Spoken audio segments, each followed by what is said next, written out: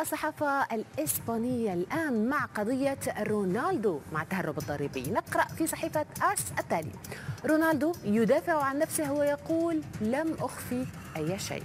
وتفاصيل نقلت الصحيفة عن رونالدو قوله أنه لن يدلي بأي تصريح بشأن القضية الحالية بعد الآن طالما لم يصدر أي قرار رسمي بشأنها موضحا بعد الاستماع إليه أنه لم يخفي أي شيء ولم تكن لديه أبدا نية في التهرب الضريبي.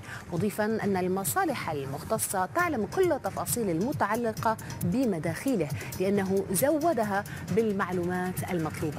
وأكد أنه كان يطلب من مستشاريه القيام بذلك بشكل دوري ومنتظم تفاديا لأي مشاكل.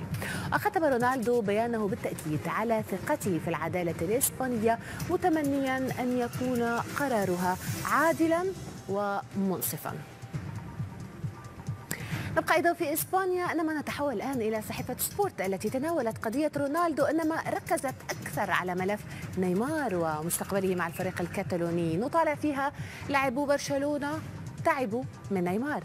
في بقية القصة تقول الصحيفة أن لاعبي برشلونة تعبوا من النجم البرازيلي نيمار وموقفه من المغادرة أو البقاء.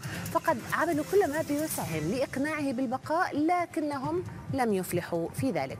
وبالتالي أصبح موضوعه يثير الإزعاج والتعب لكل اللاعبين. كما أن سلوكه في الجولة الأمريكية غطى على الانتصارات التي حققها الفريق الكتالوني وأضر بشكل كبير بصورة البلاوغرانا. والكلام هنا دائما لصحيفة سبورت.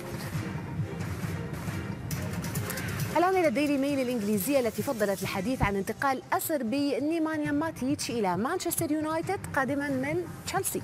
الصحيفة كتبت في التفاصيل أن هذه الصفقة ستجمع ماتيتش بالمدرب البرتغالي مورينيو الذي سبق له الإشراف عليه من قبل. ونقلت ديلي عن اللاعب شعوره بالسعادة للعب مجددا تحت قيادة مورينيو.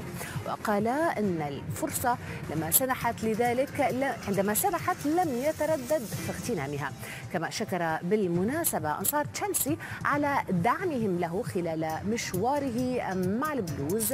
من جهته أشاد مورينيو بمميزات وخصال ماتيتش مضيفا أنه يملك كل الأمور التي يرغب كل مدرب أن تتوفر في لاعبيه خاصة فيما يتعلق بالإخلاص والثبات والطموح وهي الصفات التي ستساعده على النجاح مع الشياطين الحب